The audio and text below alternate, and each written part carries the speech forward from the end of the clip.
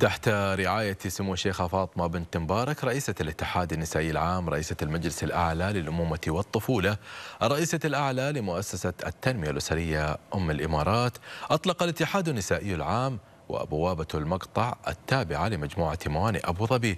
الدفعة الرابعة من برنامج أطلق الذي يؤكد مكانته كمبادرة استراتيجية مستدامة توظف مفهوم الإبداع والتميز لنموذج فريد من التعاون المثمر بين القطاع الحكومي والخاص الهادف لدعم ملفي التوطين وتمكين المرأة.